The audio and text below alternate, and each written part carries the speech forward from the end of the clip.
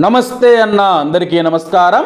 మా ఆయన ఎక్కడున్నాడో ఏమో అని చెప్పేసి ఒక మహిళ ఆవేదన వ్యక్తం చేసింది. ఒక్కసారి దుబాయ్ పోయి వస్తే కష్టాలన్నీ తీరుతాయని గత ఏడాది జూలై ముప్పై ఒకటిన మా ఆయన దుబాయ్కి వెళ్ళాడు.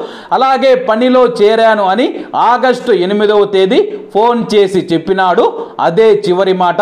మా ఆయన ఎట్లున్నాడో ఎక్కడున్నాడో కూడా ఎవరూ చెప్పడం లేదు. నా బిడ్డలు నాన్న ఎక్కడున్నాడని అడిగితే ఏం చెప్పాలో అర్థం కావడం లేదని నిజామాబాద్ జిల్లా గొల్లపల్లికి చెందిన గోదావరి గారు కన్నీరు పెట్టుకున్నారు.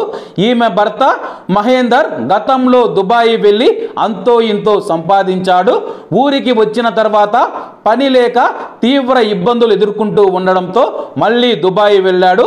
గడిచిన పదహైదు నెలలుగా మహేందర్ గారి ఆచూకీ లేకపోవడంతో ఆయన భార్య గోదావరి మరియు ముగ్గురు పిల్లలు దిక్కుతోచక దుబాయ్లో ఉన్న పరిచయస్తులందరితో రోజు అడుగుతూ మహేందర్ కోసం ఎదురు చూస్తూ ఉన్నారు. అలాగే దుబాయ్లో కానీ మహేందర్ గారి కోసం ఎదురు చూస్తూ ఉన్నారు. ఇలా చాలా మంది గల్ఫ్ దేశాలకు వచ్చిన తర్వాత కనిపించకుండా పోతూ ఉన్నారు. మరీ ముఖ్యంగా దుబాయ్లో ఉన్న మహేందర్ గారు ఈ వీడియో చూస్తే తప్పకుండా మీ యొక్క కుటుంబ సభ్యులకు మీ యొక్క భార్య పిల్లలకు ఫోన్ చేసి మాట్లాడండి అన్న ఇక్కడ వారు మీకోసం ఎదురు చూస్తూ ఉన్నారు.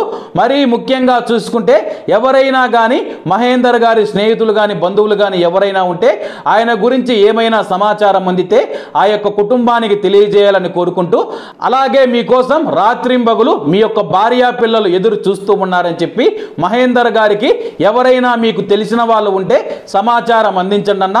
ఒకవేళ కానీ మహేందర్ గారు కానీ ఈ వీడియో చూస్తూ ఉంటే మీ యొక్క కుటుంబ సభ్యులకు ఫోన్ చేయాలని కోరుకుంటూ అందరూ బాగుండాలి ఎందులో మనం ఉండాలి. ఎందరికీ నమస్తే అన్న. జై హింద్.